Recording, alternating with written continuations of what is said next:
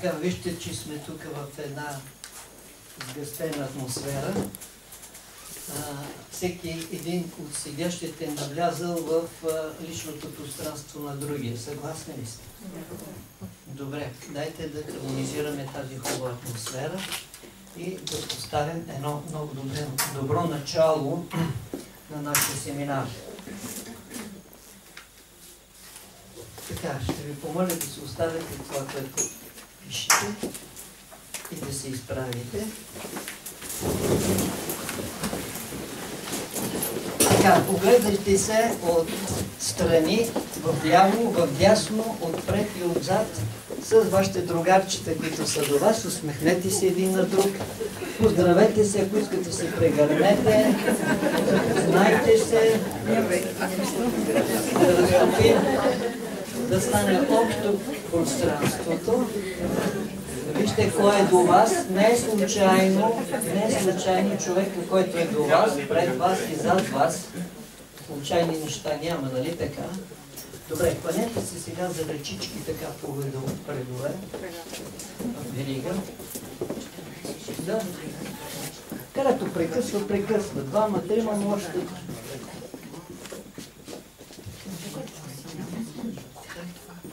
Така.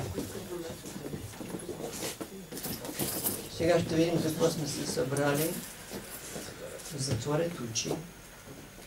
И ще повторим една формула хубава. Три пъти. Тя е в изпълнение волята на Бога е силата на човешката душа. Три, четири. В изпълнение волята на Бога е силата на човешката душа. В изпълнение волята на Бога е силата на човешката душа. В изпълнение волята на Бога е силата на човешката душа. Амин. Седнете, бъдете радостни, възпустени, отворени. Така, вижте на семинара, ме ме интересува защо, например, ето вие, защо сте дошли на този семинар? Аз започнах преди близо година системата на здравословно хранене, да се интересувам и да я прилагам, но все още някои неща не са ми напълно ясни и греша, може би, в захранването, правя системи на гладувания, които искам да си доуточня специално за мен и как да процедирам от тук нататък. Прекрасно съм мишленик. Това съм, защото се чувствам добре, когато а, има хора около мен, които се интересуват от нещата, които аз се интересувам, а именно здраве и щастие, душевно спокойствие. Здраве, щастие и духовно спокойствие, душевно спокойствие. Много добре. Гледам, че сте се приготвили нещо да запишете и аз ще ви подскажа за какво всъщност сте дошли на този семинар. Имам един кратък въпрос и ще ви помоля за кратък отговор. Въпроса и отговорът трае само една минута. Само една минута. Готови ли сте да запишете въпроса? Така, въпросът е какъв е смисълът на живота? Една минута отговор.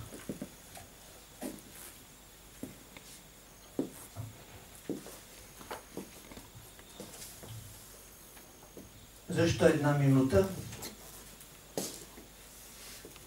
Този отговор трябва светкавично да бъде изнесен. Както, примерно, ако ви попитам кого обичате, вие ще се замислите ли? Като започнем от деца, партньори, родителите и нататък, няма никакъв нищо за мислене. Веднага казвам, обичам този, обичам еди Така и този, на този въпрос, ако го зададете на познати, ще видите един цял поменик от отговори, които не са по, по същество. Ще се върнем към отговорите, които сте си записали малко по-късно. И така, смисъла на живота.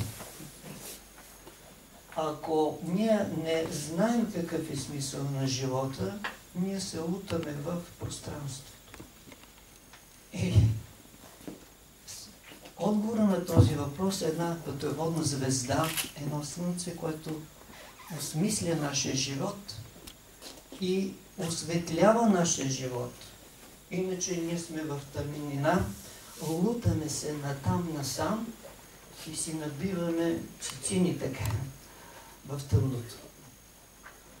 Докато тази пътеводна звезда ни определя всички наши действия, всички наши постъпки, нашата философия за живота и най-вече това, което го правим, в унисон ли с това, което ние смятаме за смисъл на живота, за наша мисия на Земята, защо сме тук на Земята, казахме много хубави думи за здравето.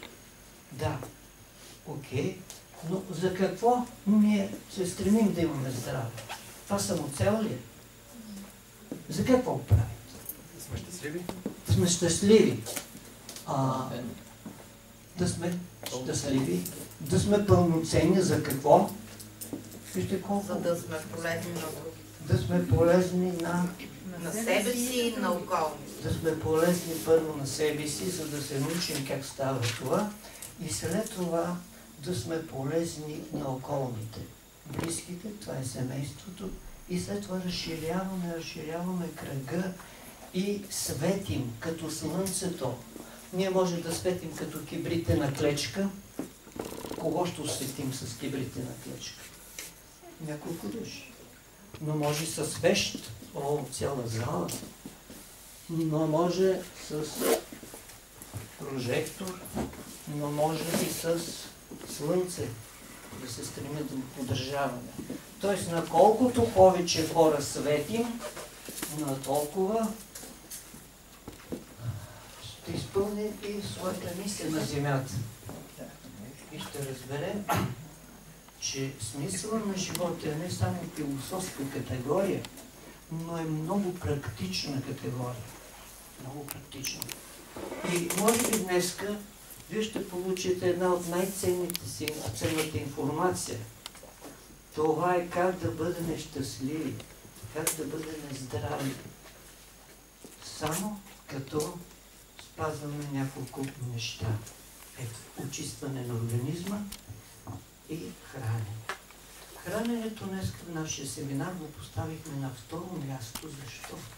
Защото няма смисъл от здравословно хранене, ако това хранене не е попаднало в Божествения храм, нашето тяло, и ако ние не поддържаме нашето тяло като храм на Господа, като храм на нашата душа, където тя да се чувства уютно, за да може да разгъне своите възможности, да усъвършенстваме душата, както и да се извисим духовно нагоре и знаем каква е целта на това извисяване.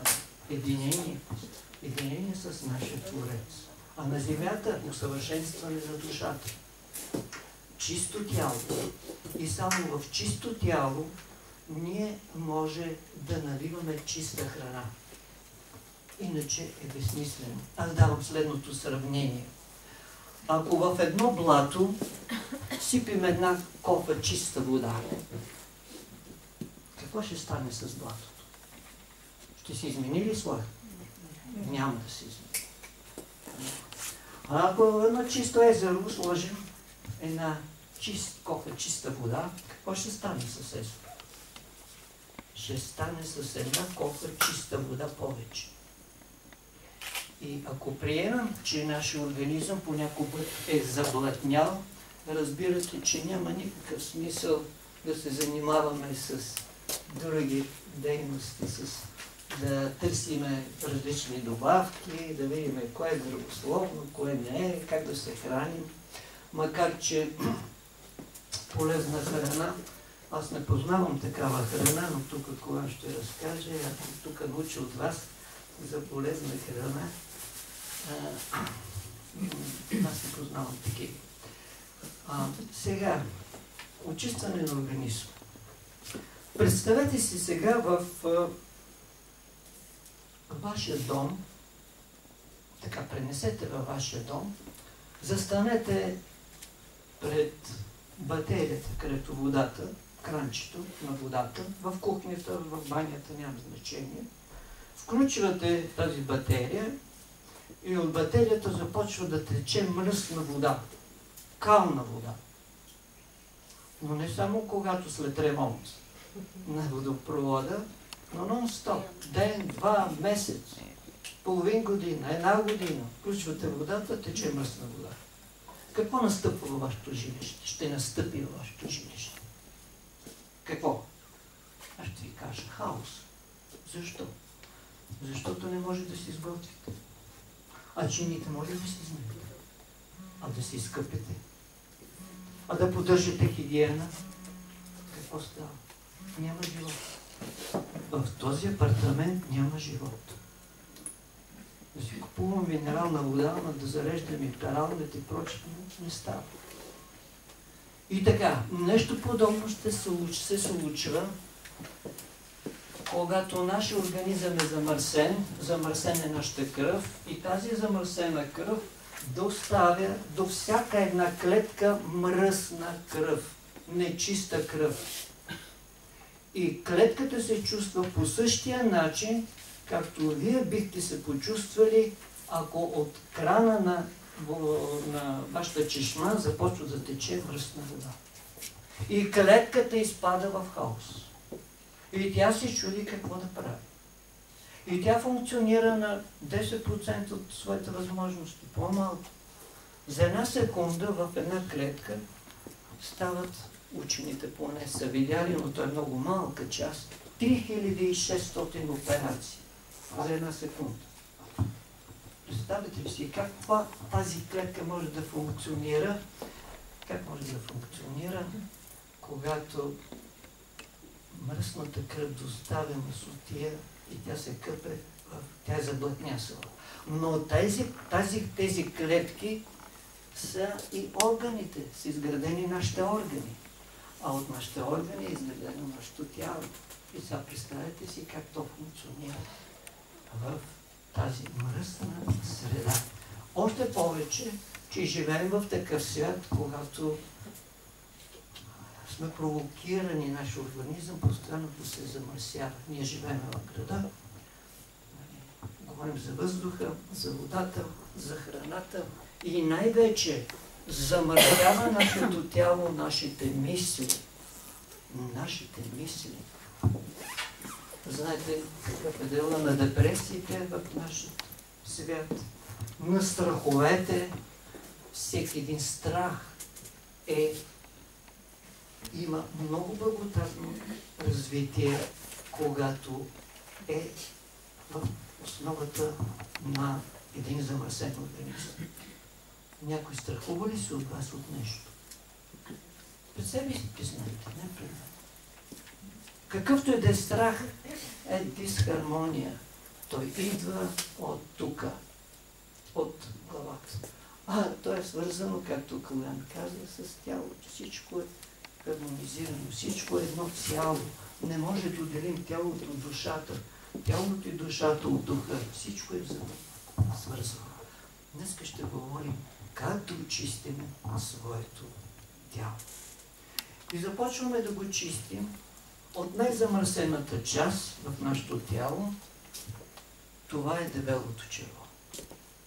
Невероятни неща може да се видят от съдържанието на това дебелото черво.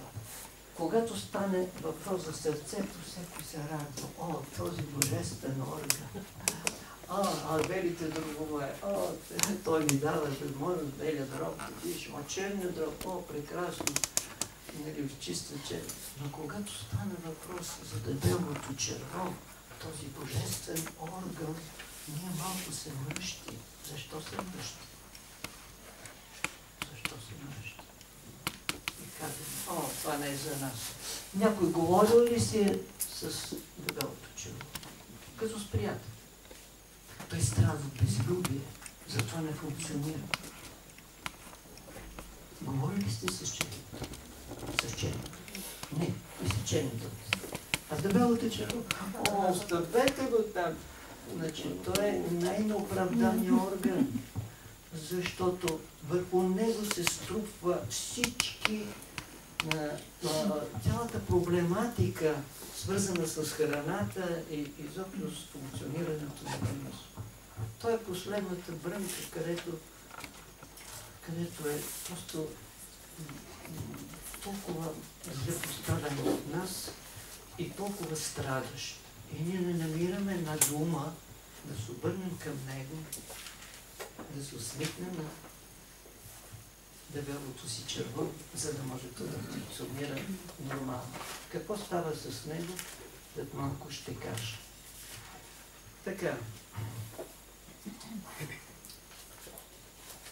Много хора малко познават или много познават какво значи дебело черво, какво значи неговата функция и изобщо каква, какви функции изпълнява в нашия божествен храм.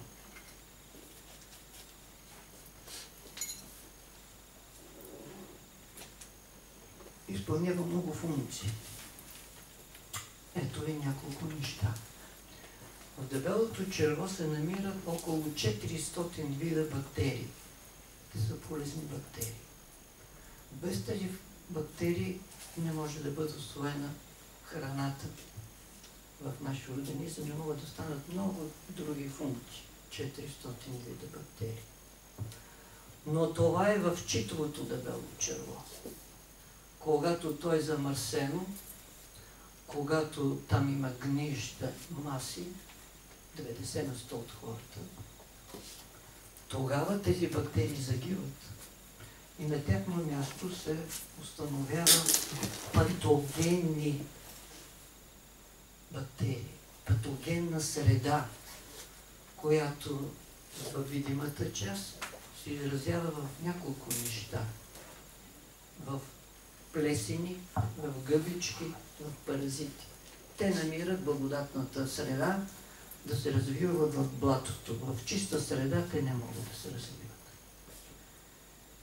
Така, тази проблематика с дебелото черво, което е, може би, епидемията на най-голямата епидемия в нашето съвремие, не от вчера, тя от хилядолетия.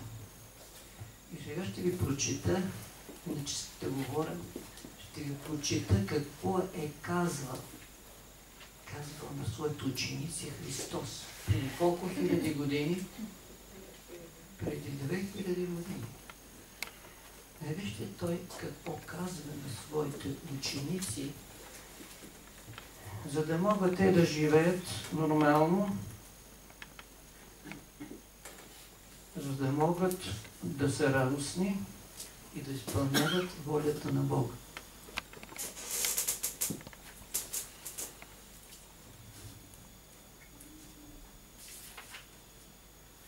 И така, той им казва, затова намерете голяма тиква с тебло, дълго колкото човешки ръст.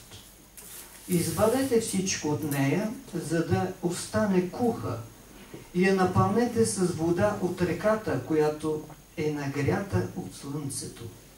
Окачете я на някое дърво, колиничете пред ангела на водата и поставете стъблото на тиквата в задното си отвърстие, за да може водата да проникне в червото ви. Останете на колене пред ангела на водата и се молете на, живо, на живия Бог да ви прости всички ваши минали грехове и се молете на ангела на водата да освободи вашето тяло от всичко нечисто и болезнено. И вие ще видите с очите си и ще усетите с носа си всичката нечистота и мерзост, оскверняваща храма на вашето тяло и всички грехове, обитаващи във вашето тяло, които са ви причинявали всевъзможни страдания. Всевъзможни страдания. Страданието на човека идва от там. 95 95% от всички страдания, наречени болести, се дължат на състоянието на дебелото черво. Другите са някъде генетични, кървични и прочи. Забележени. Много от вас са търсили лекарска помощ или ваши близки, искам да ви попитам, когато сте ходили на лекар, независимо на какъв лекар, той интересувал ли се от състоянието на вашето дебело черво? Да ли не? Някой да. Ал, има и читани лекар. Ето, казаха да. Но това е от, ако приемем 100% нашето присъствие, 1% казва да. Всичко останало казва не. Виждате ли каква е историята? Няма, няма болести. Няма рак, не съществува, няма спин, няма настинки, няма високо кръвно налягане. Има едно състояние. Замърсено дебело черво. И по-нататък ще видим, може да го трансформираме в друго изречение. Но за сега това е. Има замърсено дебело черво. Това е болестта. Други няма. И там, където е тънко, там се къса. Ако опънем един конец, на колко места ще се скъса? Където е най-тънък. Моля? Където е най-тънък. Където е най-тънко. И там, където в нашия организъм е най-тънко мястото, било поради генетични предразположения, било поради професия някаква, която нали, не подлага на различни рискове, там се къса и ние казваме, а, имаме тези това заболяване или кожно заболяване, отиваме на кожен лекар. Нали? Причината това е чистителна реакция. И не се занимаваме с кожата и с екземата, примерно, се занимаваме с дебелото черво, за да изчезне. А, иначе с какво се занимаваме? Ако кажем, че това е болест, почваме да мажеме нали, кожата с нещо, бекление. Но проблема отвътре, не отвън. Това е външното проявление на това, което аз казвам, замърсено дебело черво. И така, поддържането на чистотата в организма и по-специално и на дебелото черво се оказва много важна наша задача. И за да бъдем щастливи, както казах, някой дошъл, за да търси пъти към щастието и към здравето, ние трябва да обърнем внимание на дебелото черво съвсем съзнателно. Съвсем съзнателно. И ако говорим общо за очистване на организма, това означава всеки ден, всяка седмица, всеки месец, всяка година. Това е програмата. И няма мъртвени. Ако искаме да бъдем здрави, ако искаме да бъдем щастливи и ако искаме да бъдем усмихнати. Усмихнати. Някой от вас дали е мислил защо децата са толкова жизнени. Не стоят на място, ама и толкова смихнати. И защо хората в по-зряла възраст усмивката изчезва от лицето? И започва страдание. Защо? Защото са чисти децата. Защо са чисти? Защото има още един допълнителен отбор, за който ние ще говорим по-нататък. Но да се приближим към децата, да станем деца и да заживеем в радост, така както те живеят. Не случайно Христос толкова думи посвещава и на децата. И на децата. И не случайно само говорим, че те са бъдещето. бъдещето. Но ние какъв пример ще им дадем е много важно. Много важно. Много важно това, което чуете, да го прилагате. Защото знанието, според мен, не върши работа. Или да кажем по-скромно, не винаги върши работа. Знанието. Знанието, че трябва да се очисти дебелото черво, върши ли някаква работа? Знанието, че пушенето е вреди на здравето, върши ли някаква работа? Включително лекари пушат. И не пушат, за 90 от лекарите пушат. И те най-добре знаят, че това е вредно. Каквото е, че знаят. Не върши никаква работа. Осъзнаването, осъзнаването на информацията, която човек получава и практическото използване в практиката, това е знанието. Изтока казва, знам, значи действам. Ако не действам, аз нищо не знам. Нищо, че съм прочел хиляда книги за здравословен начин на живота. Не вършат никаква работа. Или книги по йога, или някакви други практики. Не вършат работа. Вършат работа само практиката. Само практиката. И тук е аз има хора, които разбира се, че са тръгнали по този път и изпълняват. Ще чуете какви са резултатите. И така, аз няма да се спирам на всички тези очистителни практики, които са написани в Вестник Дар на трета страница. Техниката. Аз за тях няма да говоря. Защото там са описани. Още няколко думи за дебелото черво. Така, значи, когато започват, разбира всичко е свързано с начина на хранене, когато започва да се изтластва тази читава микрофлора и храната, която се храни на подходящата, започва да прави налепи по дебелото черво, така както и водата прави едни налипи в железните тръби. Виждали сте стара железна тръба от, от водопровода? Вътре какво има? Виждали ли сте? Но тече чиста вода уж. Нали? А представете си, че това е храна. И дебелото черво не е гладка някаква такава система, а тя гладка трава, а тя гофрира маркуч. И тя тръгва отдолу възходящо дебело черво, напречно, нисходящо, нисходящо, сигмообразно и право черво. Гофриран маркуч, особено в гънките, там където може да се задържа водата, там започва да расте един налеп. Налеп, който блокира цялото дебело черво, то започва да натежава и един патолого-анатом се поинтересува, а какво е съдържанието само на напречното дебело черво? Напречното. Се оказва 15 кг тежи. 15 кг. Представете ли си една турба 15 кг? А тук няма мускули, което да го държи. И какво става с дебелото черво? Дебелото черво провисва. Сега сме тук взел тази книга, тя е удивителна.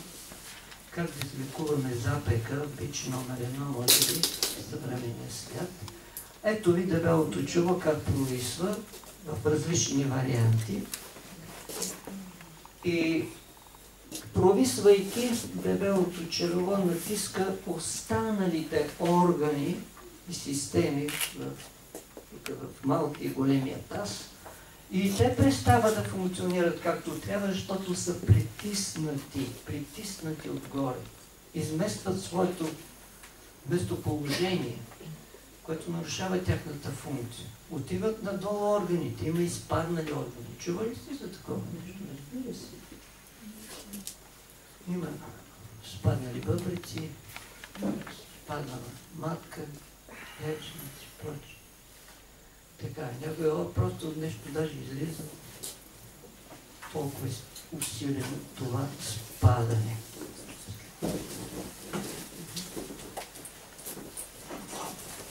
И ако не почистим дебелото черво, ние не можем да се оправим.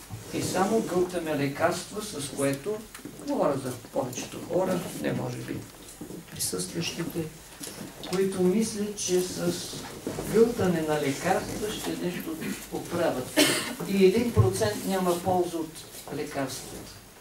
И ако беше истина в лекарствата, то тогава хората, които можеха да си ги позволят, защото само се говори, нали, нямаме пари за лекарства. Добре, тези, които имат пари, знаете какво става с американската нация? С затластяването на американската нация. Болестите на цивилизация, нали имат пари? Ей, какво като имат пари? Че като ли в аптеката може да се купи лекарство, нали? Отдавна забравена система. И тези, които са вече изгълтили една копа лекарства да са се оправили, никой да е чул. Такова нещо няма, само се влушава още повече. Ние забравяме за нашия божествен крал, че нашето тяло, нашата човек е създаден по Божи образ и подобие. И всичко, което искаме да постигнем в този свят, всичко е в нас. В нас е една цяла Вселена. Мощта на цяла една Вселена е във всеки един от нас. Това ни е дадено изначално. И ние подменяме това изначално божественост, сила и мощ на човешката мисъл, на човешкото въображение, на човешките чувства с някакви произведения на фармацевтичната промишленост. Нонсенс. Не става. Не става. Тъкмо обратното. И ето всички източни практики показват как или дават информация и практически съвети как да постигнем всичко, което желаем в този свят, основавайки на себе си. Аз за това и направих курса Здрави очи без очила, за да, за да убеда всички, защото и, и резултати са такива, тук присъстват, в залата, които са минали този курс, да разберат, че дали да имам очила или не, зависи само от нас. И ако имаме, може да ги свалиме и до края на живота да не ги ползваме. Докато навсякъде е втълпено, от лекара до академика, че без очела не може, след някакви години, и щом вече е даден веднъж очелата, край, до края на живота трябва да носите очела. Така ли ви казват лекари? И вие може само за един месец да се отървете очела веднъж за винаги. Това всеки от нас има възможност. И сменя истинските неща с патерица. Лекарството, очелата, това са патерици. И така, очиствайки дебелото черво, ние тръгваме към себе си, към нашето здраве, към нашето щастие, към нашата усмивка, към нашата радост. За което каза и Калоя. Всичко е свързано. Как да се очисти дебелото черво? Има хиляди начини. И изобщо организма. Най-простичкото нещо е клизмата с иригатор. След това са източни различни практики, слабителни неща. Всеки си избира своя програма. Шанка Пракшала е най-доброто средство в йогийската практика, което очиства целият храносмилателен тракт. От устата до правото черво. Навсякъде. Докато клизмата изчиства само до белото черво. А тънките черва. 9 нали, метра черва как се очистват. Значи клизма не става. Така, има и различни други практики. Коловада е една от тях на 14 ден очистване на организъм, включително и на дебелото черво. Има и други в интернет различни практики, но ние ако не се заемам и го оставаме това някъде, ще дойде един момент, когато ще занимаваме с очистване на дебелото черво. Кога е този момент? Утре е късно, днеска нали, и храни, които също подобряват перисталтиката на дебелото черво. И ги знаете, това са че, а, сушени или други сливи, но накиснати, както смокини, както всички някои плодовете още по-силно има перисталтика, като крушата, например, настърдените моркови и т.н. но те са помощни средства. Ако човек има запек и ние се храним с тези а, различни салати, те не могат да си пробият път. Значи първо трябва да очистим дебелото чело и след това нали, да се храним с тези продукти, които ще ни помогнат това дебело чело винаги да функционира както трябва. Така, а, тази книжка, която тук има десетина, десетина само екземпляра, е как да се борим с запека, включително и без кризи. Доктор Вандер и рентгеновите снимки на състоянието на дебелото чело и различни други практики, които могат да се приложат за очистване на организма. Петър Димков, познавате ли? Петър Димков. На 40 години той лекува от около 20 неизлечими заболявания от тогавашната медицина, т.е. сегашната медицина. Той е пред и иска да сложи край на живота си. Той е офицер. Това е по автобиография. И той започва с една очистителна система, която му позволява да възстанови, да възстанови своето здраве, да се отърве веднъж за винаги от тези заболявания и да заживее живот без болести и без лекарства до края на дните си. Вижте откъде тръгва и какво постига. Ето неговия пример. Включително и не носи очила, а бил пред ослепяване. Някой да вижда снимката на Петър Димко с очила на 95 години или на Пол Брек. Ето какво значи чисти организъм. Той изпада чисти организъм в режим на саморегулация, така както се саморегулират различни други системи в природата. Кои са тези системи, които се живеят вечно? Нищо вечно няма, нали, но казваме милиарди години. Кои са тези системи? Екосистемата. Реката, езерото, Всички екосистеми. всички екосистеми, планината, морето, океана. И какво става, когато те се замърсват? Какво става с реката Изток, където ние сме ловили риба, сме къпили, тук са пеянци. Това беше реката. Е сега каква е тази река? Тя е мъртва. Защо е мъртва? Защото е мръсна. Замърсена. Ето това става с нашия организъм. И ако ние не предприемем мерки, започва с годините това затлачване да се увеличава, да се увеличава. Какво става с реката, когато тя е затлачена? Тя не може да поеме водата ето сега. И какво става? Наводнение, поразии, затлачена. Нещо подобно се случва и с нашето, когато се затлачва. Става страдане. Става проблем. Тоест, очистването на организма трябва да стане същия този навик, както е навика всеки ден да си мием очите. Страдаме ли ако си мием очите? И той е навик. Страдаме ли ако си мием зъбите? Всеки ден. Губим ли време за това? Не. По същия начин и за очистването на организма. Става навик. Става навик.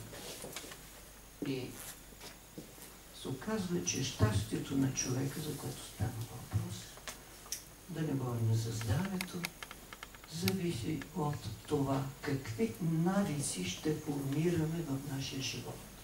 Полезни за нашия организъм или вредни. И тези, които са се формирали други навици, вредни, знаете какво става с тях във времето. Нали така? Казва, а, там има време. Кое време? Такива деца идват в нашия кабинет, 5 годишни с диабет, инсулинозависим. Кой е виновен? Кой е виновен? Родителите. Родителите. Какъв пример даваме на децата? Ние сме виновни. И търсиме нали, средства в държавата, за да оперират тези дечица. Да отиде там някъде в Израел, не знам, 100 хиляди, 200 хиляди. И държавата не дава тези пари. Няма тези пари. И какво става с тези дечици? Но ние сме заложили мината, бомбата в нашите семейства. Или, когато говорим, например, че пушенето, това е мой избор и никой няма право да се меси в моя избор, нали? Ние не отчитаме, че това не е наш, не е наш избор, а наше право да вършим или да пием, или нещо друго да правим, адекватно да се храним. Това е наш, наш проблем. Не засяка никой. Не. Всеки един от нас е една брънка от веригата на живота. От веригата на живота. И ние тази брънка, ако тя изтане в наше лице, ние така изтънява изобщо живота. И къде ще се скъса тази верига? На най-тънкото място. И ние ще бъдем причина за това.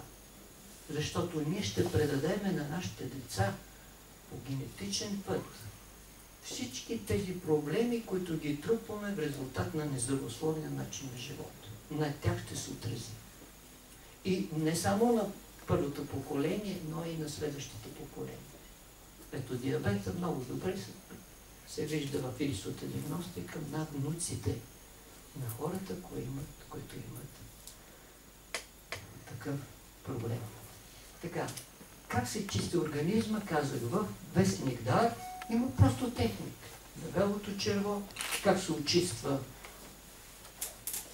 бъбреците, черния дроб и всичко останало. Не може за един час всичко да се разкаже. Но има курсове. Ето, който иска се занимава с това.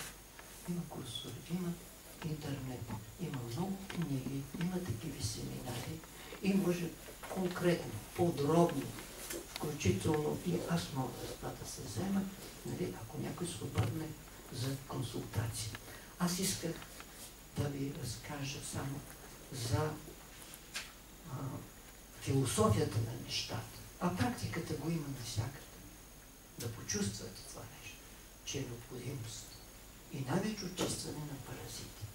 Но за това ще стане малко а, а, дума и малко по-нататък, когато ще говорим за алкално-киселиното равновесие в организма. Благодаря.